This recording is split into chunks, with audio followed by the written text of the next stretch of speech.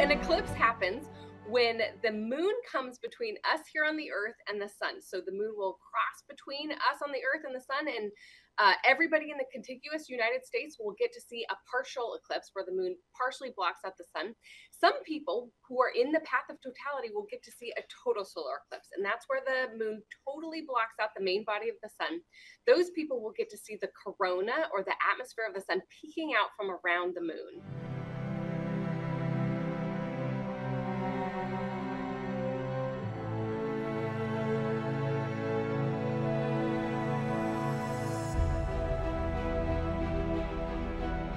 So everybody in the contiguous United States will get to see at least a partial eclipse where the moon partially blocks out the sun. Uh, there's a path of totality, though, that starts in Texas and it goes um, up north and comes out through Maine. And the people in the path of totality will get to see the uh, main body of the sun totally blocked out.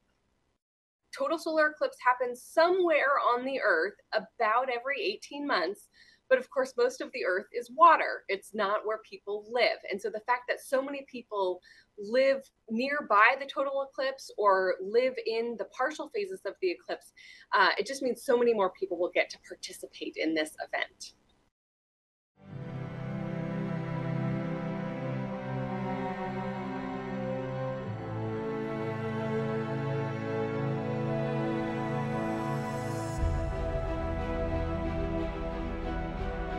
Eclipse is going to be a little bit different from the 2017 eclipse in a couple of different ways.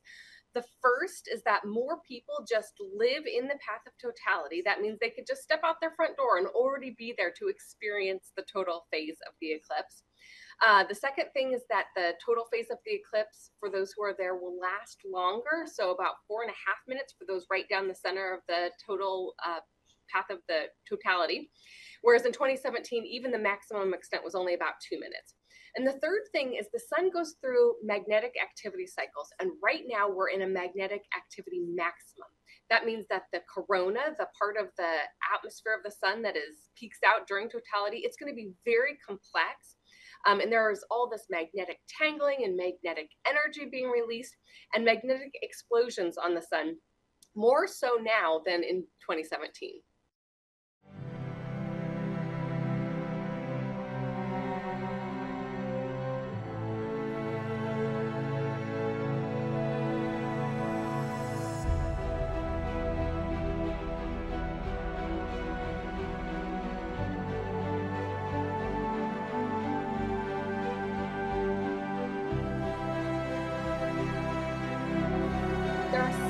Great ways that you can experience um, experience the eclipse. The first is if you have um, special solar eclipse viewers, these have special filters across the front that make it safe to view the sun. And so you can look directly at the sun through these um, and see the partial phases of the eclipse. You can also use a pinhole projector, and they're very easy to make. Uh, this is an example from the Punch mission, the NASA Punch mission. It's just a piece of cardboard with holes punched out of them. You stand with the sun at your back, you let the sunlight come through the holes, and an image of the partial eclipse will be projected down on the ground in front of you. So you'll see those crescent shapes, the shapes of the moon taking a bite out of the sun down on the ground in front of you. And it's just a really cool thing. Even in partial, even in the partial eclipse, you'll still get to feel it get colder and it will look darker you should never look directly at the sun because um, you can have eye damage if you stare at the sun. So always uh, safety first, always use those uh, protective eyeglasses or use a pinhole projector to indirectly view the eclipse.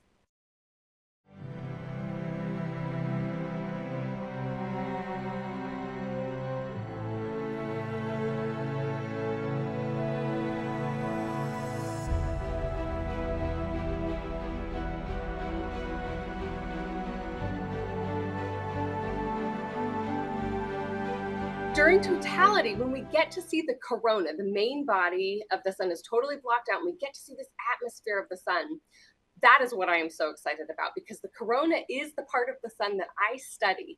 And I study the corona and how that material expands outwards and fills our solar system. And so to get to see it with my own eyes is just going to be amazing. And I'm super excited about it.